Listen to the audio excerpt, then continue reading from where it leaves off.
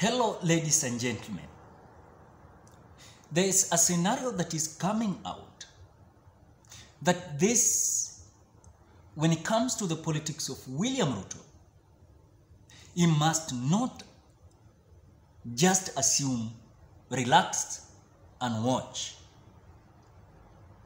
When I was going across the opinion poll that Mutahi Ngunyi has conducted in his Twitter handle timeline, I'm just shocked with the kind of the result that I have seen Kenyans deciding when if there was possibility of William and Wajakoya were the only candidates that were running for this election.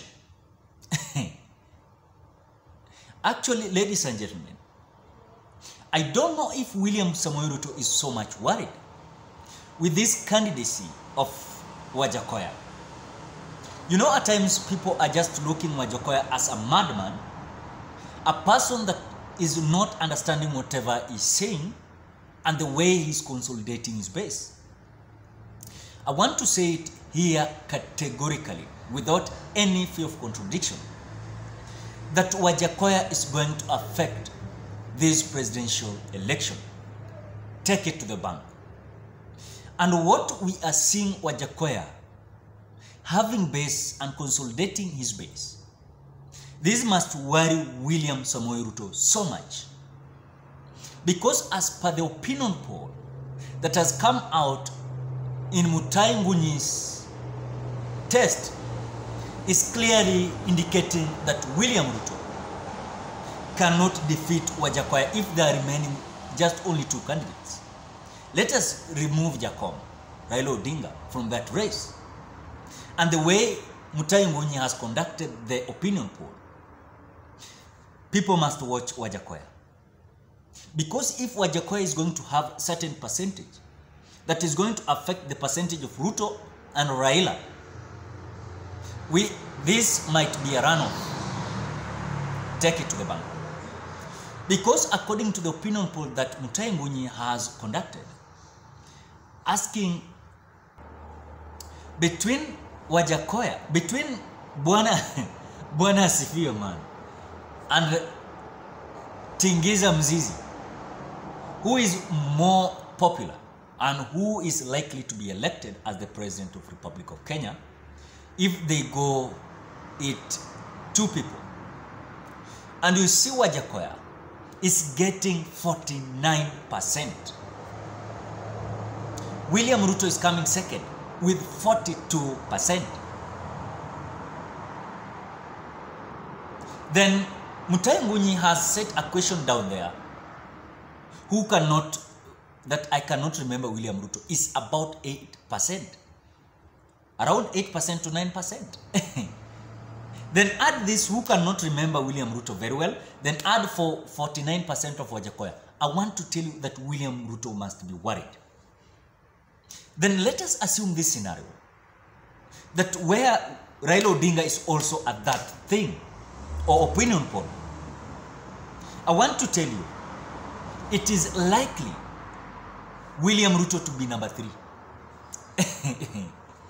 Take it to the bank. Because when we see the way this election is going to be conducted, ladies and gentlemen, it is not as the way William Samoruto thinks that this election is going to be just simple as the way they think. This election is hard to predict. So far, when it comes to the candidacy of Wajakoya, it's going to bring a lot of worries to these presidential candidates. And more so, whoever must be worried so much. Ladies and gentlemen, I don't want to be biased. It is William Samoei Ruto and their Kenya Kwanza Brigade. And this is my defending, defending point. Do you remember when William Samoei Ruto was starting his narrative? He captured a bigger percentage of constituents of those youths that were idlers, yes, they were having votes. Those youths that were not agreeing with the narrative of Raila Odinga. Remember today, they have been captured, recaptured to Wajakoya's side. It means that whoever his votes is going to be so much affected is William Samoei Ruto, if I'm not biased. And if I'm biased, let it be. This is the truth about the ground as per what we are seeing when it comes to the politics of Wajakoya, one. Number two, William Ruto. Number three, Raila Odinga. That if Wajakoya will come strongly, this is going to affect William Ruto terribly. And this is going to make Raila Odinga to pass between them.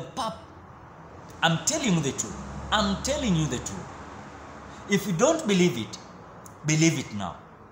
Raila Odinga is going to pass between these two people, Wajakoya and William Ruto.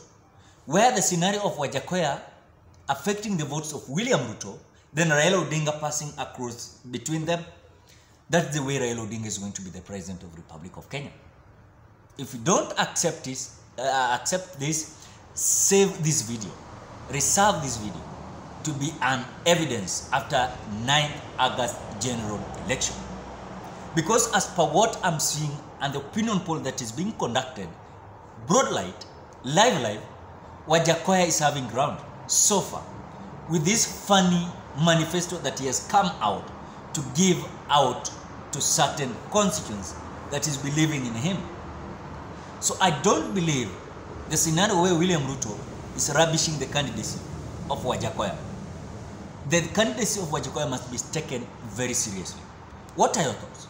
Drop your opinion at the comment section below. Otherwise, I appreciate so much because of your great support towards the analysis of this channel. If you're a visitor, please subscribe to this channel. That's the only uh, favor that you can do for me.